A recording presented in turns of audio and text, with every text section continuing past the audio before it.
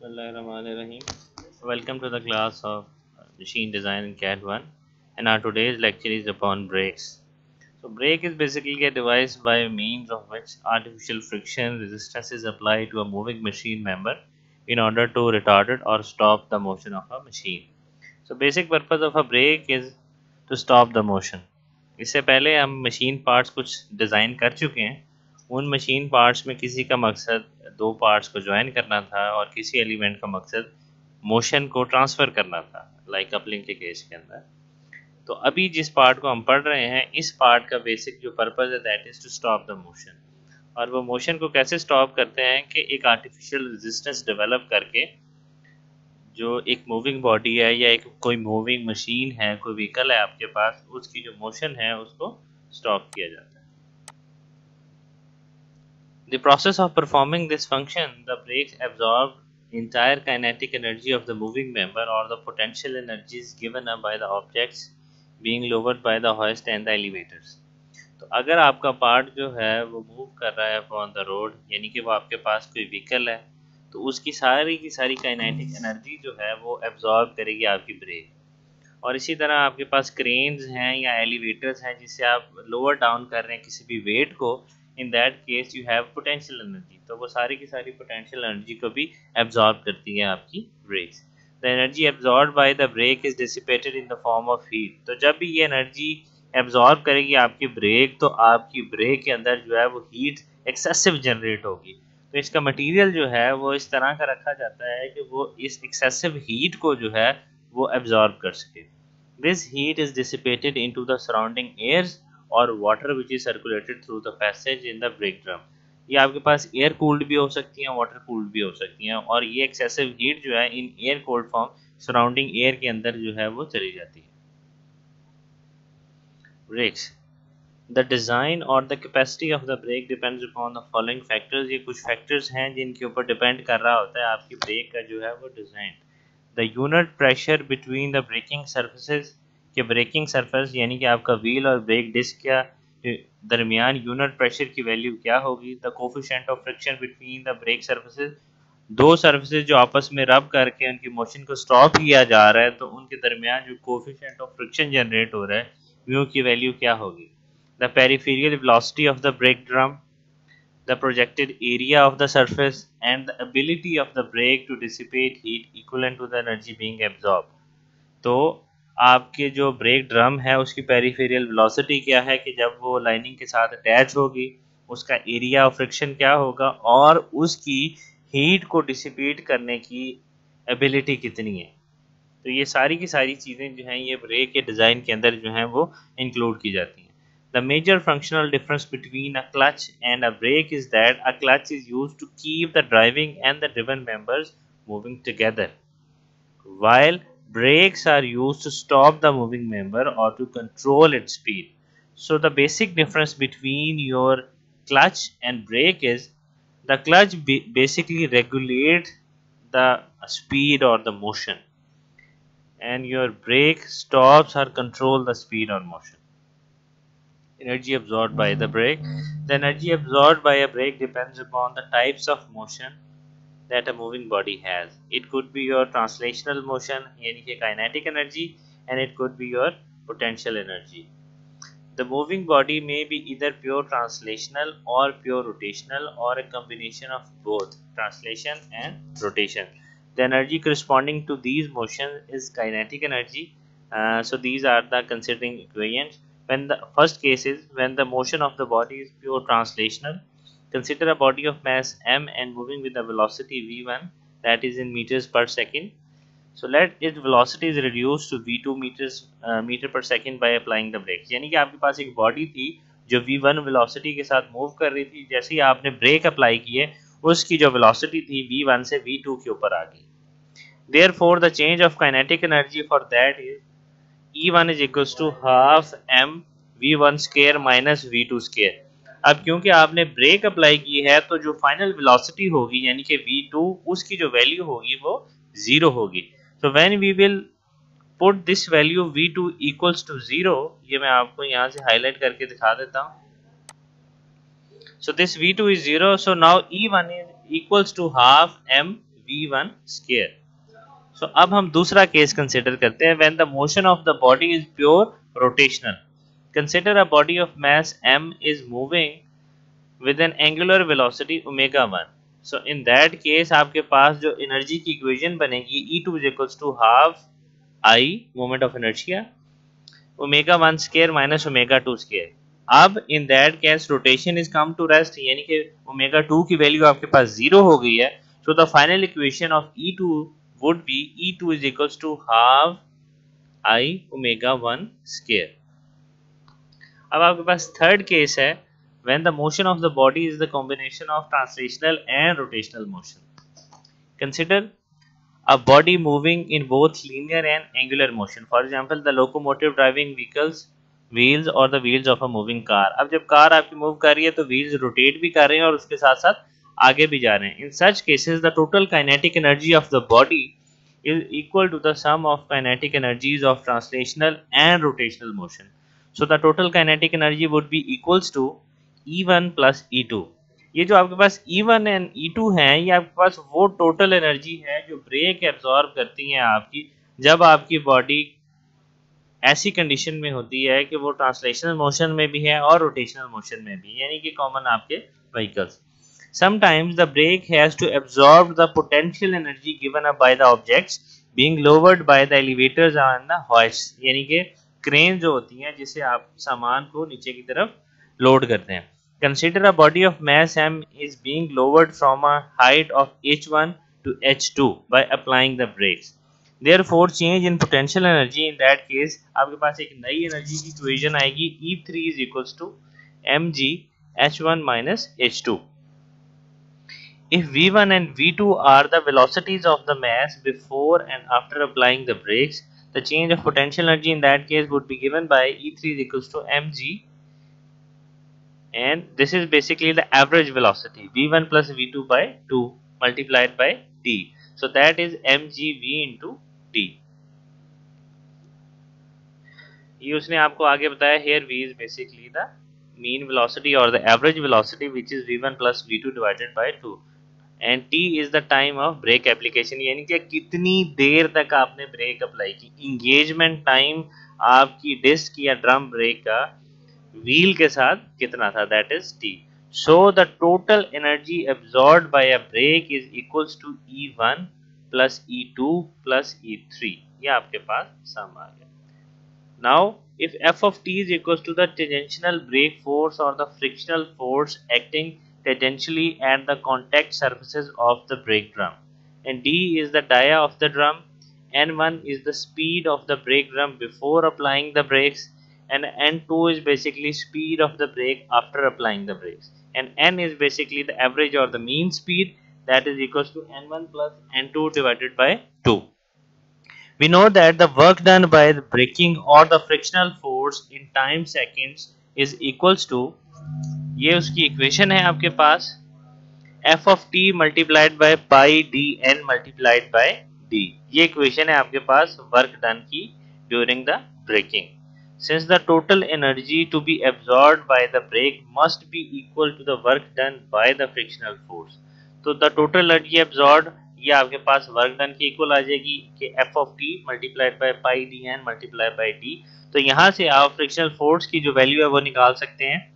कि f of t is equals to E divided by pi d n into t the magnitude f of t depends upon the final velocity v two and on the braking time t तो आपके पास जो magnitude है, इस force का वो depend कर रहा है आपके फाइनल वेलोसिटी के ऊपर और ब्रेकिंग टाइम के ऊपर. इट्स वैल्यू इज़ मैक्सिमम इसकी वैल्यू तब मैक्सिमम होगी जब आपके पास V2 की वैल्यू ज़ीरो होगी. यानी कि जब आपके पास बॉडी स्टॉप कर जाएगी in that case frictional force या ब्रेकिंग फोर्स जो है वो डोमिनेंट होगी। और ब्रेकिंग का काम इन एक्चुअल आपके पास यही है कि किसी भी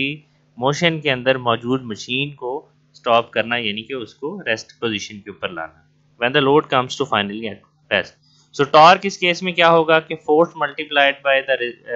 radius so T is equals to F of T multiply by R F of T का ये फार्मूला है। तो रेडियस को आप डाई बाय टू भी जो है वो लिख सकते हैं now heat to be dissipated during the braking The energy absorbed by the brake and transformed into heat and must be dissipated into the surrounding air in order to avoid excessive temperature rise of the brake linings. Material आपकी brake disc का ऐसा होना चाहिए कि वो excessive heat को जो है वो अपनी सराउंडिंग्स के अंदर डिसिपेट कर सके the temperature rise depends upon the mass of the brake drum the braking time and the heat dissipation capacity of the brake ये मटेरियल डिपेंडेंट होती है the highest permissible temperature recommended for different brake lining of the material are given अगर आपके पास for leather fiber और the wood facing अगर आपके पास common ये fiber के leather होते हैं उन in that case you have the permissible limit of temperature 65 to 70 degree Celsius अगर आपके पास जो leather हैं वो asbestos material के हैं और वो slightly lubricated हैं. In that case, heat dissipation capacity is 90 to 105 degree Celsius. और ये जो आपके पास ऑटोमोबाइल ब्रेक्स होती हैं एस्बेस्टस ब्लॉक लाइनिंग की, ये 180 डिग्री से लेके 225 डिग्री सेल्सियस टेम्परेचर को जो है, वो बेयर कर सकते हैं. अगर इस लिमिट से ऊपर जाएगा टेम्परेचर तो ब्रेक लाइनिंग जो है, वो उसमें आग लगने का खतरा है और वहाँ से जो है, आपकी व्हीकल जो है, वो डैमेज होने का खतरा है. Since the energy absorb and the rate of wear of the brake lining and the particular speed are dependent upon the normal pressure between the brake surfaces therefore it is an important factor in the design of the brakes तो brake design के अंदर जो सबसे important parameter है वो normal pressure है क्योंकि आपकी एनर्जी डिसिपेशन और जो आपकी ब्रेक वेयर हो रही है with the passage of time वो दोनों डिपेंड कर रही हैं इस नॉर्मल प्रेशर के ऊपर सो so, इसके डिज़ाइन पैरामीटर के अंदर जो प्रेशर है, वो एक डोमिनेंट फैक्टर होगा। Permissible normal pressure between the brake surfaces depends upon the material and the brake lining coefficient of friction, and the maximum rate at which energy is being absorbed. अब जो आपके पास normal pressure है, जिसको design के अंदर आपने consider करना है, उसकी आगे डिपेंडेबिलिटी जो है, वो किन फैक्टर्स के ऊपर है? फ़र्स्ट फैक्टर जो है, वो आपका मटेरियल है कि आपकी ब्रेक लाइनिंग जो है, वो किस मटेरियल की बनी हुई है। जो इसके अंदर सेकंड फैक्टर है that is coefficient of friction कि आपने जो ब्रेकिंग मटेरियल लिया हुआ है उसकी कोफिशिएंट ऑफ़ फ्रिक्शन की वैल्यू जो है वो क्या है and the third is basically the maximum rate at which the energy is being absorbed कि उसकी मैक्सिमम क्या है रेट जिसके ऊपर वो एनर्जी जो है वो इसको एब्जॉर्ब कर रही है आगे चलते हैं जी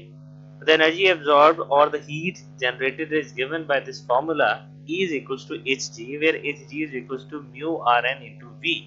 and which is further equivalent to mu p a into v, which is in joules or watts. अब ये टर्म जो आपने इस एनर्जी इक्वेशन के अंदर यूज़ किए हैं, ये क्या है? म्यू आप जानते हैं कि it is basically the coefficient of friction R N is the normal force acting on the contact surfaces ठीक है जी? आर एन नॉर्मल फोर्स जो है रिएक्शन फोर्स जिसको हम कहते हैं। पी जो है, ये वो आपके पास फैक्टर है जिसकी हम बात कर रहे थे normal pressure between the braking surfaces ठीक है जी? That is newton per meter square A is the projected area of the uh, contact surfaces and V is basically the peripheral velocity of the brake drum. Now heat generator may also be obtained by considering the amount of kinetic or the potential energies which is being absorbed. So Hg is equals to Ek plus Ep where Ek is the total kinetic energy absorbed and Ep is basically total potential energy absorbed. Now the heat dissipated Hd is equals to C into T1 minus T2 into AR. अब यहाँ पे जो C है, that is heat dissipation factor and this is constant for and fixed for material to material ये vary करती है सी की value जो है आपके पास, और इसका जो यूनिट है that is watt per meter square per degree Celsius T one minus T two is the temperature difference between the expose radiating surfaces and the surrounding air यानी कि आपकी ब्रेक का जो टेम्परेचर है ब्रेकिंग एरिया का और air का जो टेम्परेचर है उसका जो डिफरेंस है that is T one minus T two and A R is the area of radiating surfaces के जिस सरफेस से हीट रेडिएट हो रही है, आपके पास ब्रेक ड्रम का जो एरिया है या डिस्क ब्रेक है तो डिस्क का जो एरिया है that is basically the radiating surface area The value of C may be order of 29.5 watts for a temperature difference of 40 and increase up to 44 when the temperature difference becomes 200 degree Celsius. तो ये बताया हुआ है आपके पास कि अगर t1 one minus की value जो है वो 40 तक रह रही है तो आपके पास c की जो वैल्यू होगी दैट इज़ 29.c और अगर डिफरेंस जो है वो 200 तक जा रहा है तो then its value would be 44 expression of E dissipation are quite approximation and should serve only as an indicator of the capacity of the brake to dissipate the heat the exact performance of the brake should be determine by the test अब ये जो आप सी की value ले रहे हैं, ये आपके पास एक अप्रोक्सीमेटेड वैल्यू है। एक्चुअल वैल्यू इसकी सी की फाइंड आउट करने के लिए आपको ब्रेकिंग के वक्त वो जो वहाँ पे टेम्परेचर गेज लगा के वहाँ से आपको सी की वैल्यू मिलेगी, वरना आप इसकी वैल्यू को जो है वो डिटरमिन नहीं कर सकते। तो आप जो है इसकी जो एक्चुअल परफॉर्मेंस है वो ड्यूरिंग टेस्ट ही फाइंड आउट कर सकते It has been found out that 10 to 25% of the heat generated is immediately dissipated to the surrounding air, while the remaining heat is absorbed by the breakdown, causing the temperature to rise. ठीक है जी जो heat generate होती है during breaking उसका 25 percent तक का portion जो है वो एयर के अंदर डेसिपेट हो जाता है बाकी का जो टेम्परेचर है वो ब्रेक ड्रम का जो टेम्परेचर है उसको राइज कर देता है and that is given by this formula delta T is equals to H G divided by M C here A double dot D जो है ये दैट इज बेसिकली एरिया का डबल डेरिवेटिव है temperature rise of the brake H G is the heat generated M is the mass and C is the specific heat In brakes, it is very difficult to precisely calculate the temperature rise. In preliminary design analysis, the product PV is considered in place of temperature rise. The experience has also shown that if the product of PV is high, the rate of wear of brake lining will be high and the brake life will be low. Again in that case वो आपको यही बताने की कोशिश कर रहा है कि ये जो टेम्परेचर का एनालिसिस है, ये टेम्परेचर गेजेस से ही हो सकता है। तो डायरेक्ट वैल्यू को प्रोडिक्ट करना in case of brake lining is quite difficult लेकिन ये जो वैल्यू है आपके पास पीवी इससे जो है वो ट्रेंड फाइंड किया जा सकता है कि अगर पीवी की वैल्यू जो है वो आपके पास ज़्यादा है तो in that case wear factor ज़्यादा है और ब्रेक की जो लाइफ है वो कम होगी। इस न्यूमेरिकल से आपको ये चीज़ें जो है वो और क्लियर हों लिखते हैं जी vehicle of mass 1200 hundred is moving down the hill at the slope of one ratio five at seventy two kilometer per hour it is to be stop at the distance of fifty meters if the dia of the tyre is six hundred millimeters the average braking torque to be applied to stop the vehicle neglecting all the frictional energies except of brake If the friction energy is momentarily stored at 20 kg cast iron brake drum, what is the average temperature rise of the drum? The specific heat in that case is 520 joules per kg into degree Celsius. Also determine the minimum coefficient of friction between the tires and the road in order to uh, the wheels should not skid. Assuming the weight is equally distributed among all. Now the given mass is 1200 kg, slope is 1 into 5 velocity initial is 72 kilometers per hour which is basically 20 meters per second height जो है वो आपको दे दी है 50 metres यानी कि distance जो है और डाया डी जो है दैट इज़ 600 मिलीमीटर यानी कि रेडियस 300 हो गया आपके पास तो 0.3 मीटर्स हो गया एम बी जो है आपके पास दैट इज़ 20 के जी मैस दे दिया ब्रेक्स का और जो स्पेसिफिक हीट है दैट इज़ 520 जॉब we know that the total kinetic energy of the vehicle is half m v square. तो half m v1 square क्या है? 20 तो आपके पास e k की वैल्यू आ गई है that is 24 tetra zero newton meter potential energy of the vehicle क्या होगी? एम जी एच तो यहाँ पे स्लोप है तो मल्टीप्लाइड बाय द स्लोप तो 1200 जी एच जो है दैट इज़ 50 और स्लोप है 1 रेशो फाइव तो 1 बाय फाइव तो ई e पी की वैल्यू आ गई 117 720 Newton meters. So the total energy of the vehicle or the energy absorbed by the brake that is Ek plus Ep that is sum of these two values which is basically 357720 Newton into meters. Since the vehicle is to be stopped at the distance of 50 meters therefore the tangential braking force तो ये जो आपके पास total energy absorb ये आपके पास breaking force आ रही थी, इसको हम 50 से डिवाइड कर देंगे क्योंकि आफ्टर 50 मीटर जो है वो आपकी गाड़ी जो है वो जाके रुक रही है। So this total force divided by 50 so that is 7154.4 newtons ये आपके पास वैल्यू आ गई। We know that the average braking torque is to be apply to stop the vehicle तो टॉर्क की जो वैल्यू होगी वो क्या होगी? Value of the force multiplied by the radius So 7154 multiplied by 0.3 which is 2146 newton meter ये torque की value होगी आपके पास average rise of temperature delta T जो है we know that the heat absorbed by the brake drum Hg is equal to energy absorbed by the brake. Energy absorbed by the brake is basically the total energy generated, sum of kinetic and potential energy. वो हम निकाल चुके हैं three five seven seven two zero तो H G की value ये उसके लिए सेम रहेगी so H G is equals to M B C multiplied by delta T M B भी हमें नोन है. सी की वैल्यू भी हमें गिवन है. डेल्टा टी हमने यहाँ से फाइंड आउट करना है. तो डेल्टा टी की वैल्यू जो हमारे पास आ रही है that is 34.4 degree Celsius brake rise ये आपके जो ब्रेक पैड्स हैं, उनके अंदर टेम्परेचर राइज होगा. Now the minimum coefficient of friction that you have to find out उसके लिए हम इक्वेशन यूज़ करेंगे वही tangential force F of T is equals to mu into R N तो एफ़ ऑफ़ टी की value हम निकाल चुके हैं। म्यू हमने फाइंड आउट करना है। आर एन की वैल्यू जो है वो हमें फाइंड आउट करनी है। आर एन की जो वैल्यू होती है that is M into G